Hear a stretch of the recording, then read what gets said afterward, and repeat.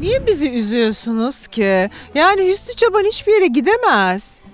Abicim her e, şeyin bir son kullanma zamanı var biliyorsun. Tarihi var, son kullanma tarihi. Benim son kullanma tarihim de bitti artık yani. yani. Doldu bence, doldu. Artık yeter. İnsanlar beni başka bir şey de görmek istiyorlar. Başka bir şey yapayım istiyorlar. Hüsnü Çoban, Hüsnü Çoban. Nereye kadar Hüsnü Çoban yani? Tamam ben onları Hüsnü Çobansız bırakmak istemiyorum ama yani bu da can. Artık Hüsnü Çoban'ın yapacak bir şey kalmadı. Ne yapayım artık? Üzüldük, vurulduk, sevindik. Kızımız evlendi, oğlumuz evlendi, torunumuz oldu. Reklam yıldızı oldu. Her reklam yıldızı oldu, afişlere koydular bizi. o afişlerde başka fotoğraflar var ama olsun. Ee, ama e, yapacağını yaptı artık. Daha ne bekli ne olabilir ki Hüsnü Çoban'dan yani? Ha?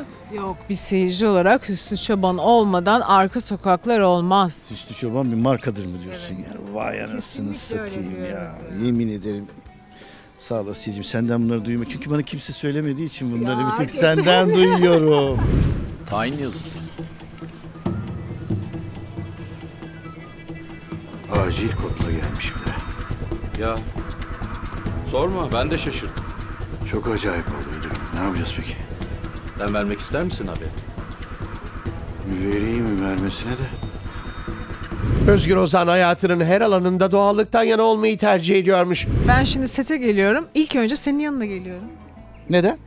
Çünkü seni çok Ben seviyorum. çünkü hayır demiyorum.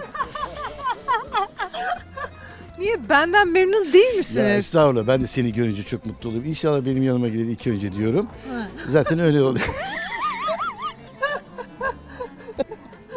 Hep settesin. Set dışında Ben ne da- anlatıyorsam her şey doğal, Doğal, anlatıyorum. evet. Yemin ederim hiç böyle bir sahtekarlığım yok yani. Ama cidden de öyle ya. Mesela sette bakıyorum da en doğal insanlardan birisi. Ya bu Çok bizim doğal. işimiz abi. Biz kamera kayıt dediği zaman rol yapmaya başlarız. Stop dediği zaman biter. Onun dışında bu bizim işimiz. Etrafındaki arkadaşlarımız beraber bizim iş ortağımız, başarı ortağımız.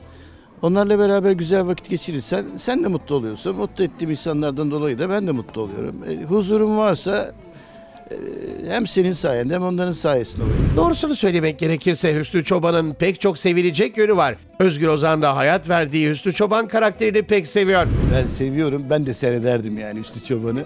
Vallahi seyrederdim. Yani renkli bir adam başına gelenler var.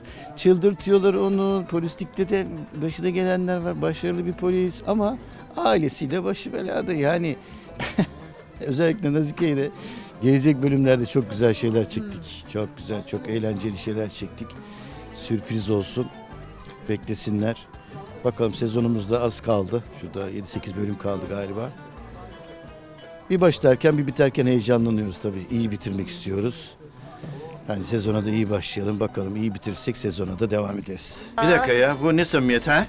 Nazike'nin ayağından sana ne? Nereden haberin var senin? Özgür Ozan genç oyunculara küçük hesaplar peşinde koşmak yerine işlerine odaklanmalarını öneriyor. Yoksa böyle kibirli, egolu bir sürü insanla çalıştığı zaman karavandan dışarı çıkmayan, ne bileyim iletişimi olmayan ben duyuyorum ya. Yani tabii ben artık fazla tevellüt biraz geç olduğu için benim 40. senem falan herhalde artık meslekte.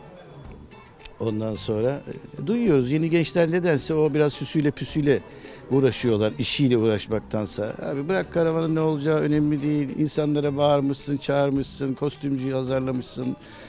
Ya bu onu yazık küçük insanlarla uğraşmak seni küçültür yani. O yüzden hani mesleğinle büyü, mesleğinle var ol. Onlarla beraber iyi geçin ki onlar sana zaten onlar da kendi mesleğini doğru yaptıkları zaman sen de bir yere geliyorsun. Ve bu ortak bir iş sonuçta.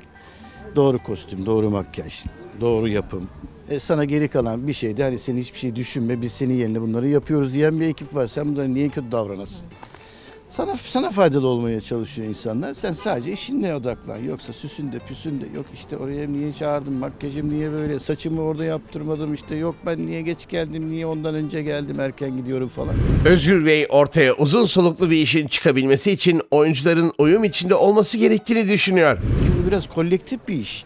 Zaten ekibimizin çoğu aynı yerde, aynı şekilde sahnelere birlikte çekiyoruz falan. E bu bir ekip işi dediğimiz şekilde biz bunu bir ekip işi deyip de ekip işiymiş gibi yapmazsak yalancı çıkarız zaten. Hani bizim yaptığımız şey gerçekten bir ekip işi. E başrol diye bir şey yok. Her hafta biri başrol oluyor. Hangi hangisinin rolü daha ağırsa o bölümde, hangisinin üzerine hikaye kurulmuşsa o hafta o başrol. Herkesin özel karavanı yok. Herkes birlikte bir arada. Yok valla. Bence çok da güzel. Güzel, evet. Sohbet muhabbet ediyoruz. Çok beklediğimiz olmuyor açıkçası ama ya ben tek başıma karavanda olmak tabii ki başka bir konfor. Hani uzun sürse işimiz o süre içerisinde gider dinlenirsin, kitabını okursun, müzik dinlersin, yatar uzanırsın bilmem ne yapar ama o kadar karavan içinde duracak kadar zamanımız bile olmuyor bizim yani.